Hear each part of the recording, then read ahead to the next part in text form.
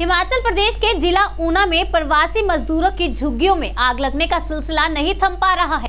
अधिकतर आग का तांडव जिला में देखने को मिल रहा है। एक तरह से ऊना जिला में आग का तांडव बढ़ने लगा है।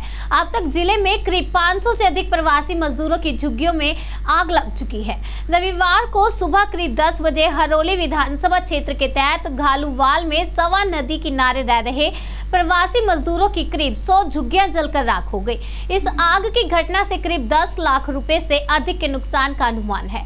आग की इस घटना में प्रवासी मजदूरों की नकदी, घरेलू सामान भी जलकर राख हो गया। आग की चपेट में एक मोटरसाइकिल भी आ गई। वहीं आग की घटना के दौरान अफरा तफरी मची रही। आग ने अपना कहर इस तरह बरपाया कि देखते ही देखते प्रवासी मजदूरों की झुग्गियाँ जल गई। आग की घटना की सूचना किसी राहगीर ने अग्निशमन केंद्र ऊना को दी जिसके चलते अग्निशमन केंद्र की टीम मौके पर जा पहुँची। आग को नियंत्रित करने के लिए इस टीम को भी कड़ी मशक्कत करनी पड़ी। बताया जा रहा है कि आग की घटना का नियंत्रण करने के लिए ऊना अग्निशमन की दो गाड़ियाँ मौके पर पहुँची। वहीं एक गाड़ी टाहलीवाल फायर चौकी से मंगवाई गई ताकि आग को नियंत्रित किया जा सके। एकदम सात लाख रुपए का नुकसान है मेरा। क्या क्या जला आपका?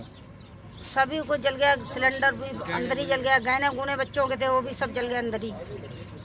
लड़कियों की शादी के लिए रखे थे गहने चार चार बेटियाँ हैं चारों का था। तो कुछ कैश भी आपका जला है? कैसे ये नब्बे हज़ार रुपया जला है। तो प्रशासन जो फायर ब्रिगेड की टीम है वो कब तक पहुंचेगी आग लगने के बाद? जब जल चुका था जब पहुँचे थे हम तो। हम प्लाट में चले गए थे। यहाँ पर मौजूद नहीं थे हम। Thank you.